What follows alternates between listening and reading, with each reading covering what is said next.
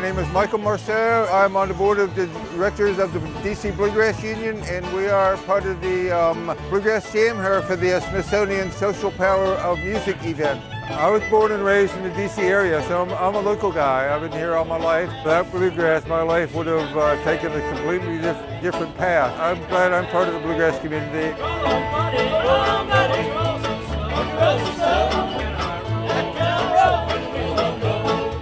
And we get people of all different levels, all different backgrounds, all different interests in, in their favorite band.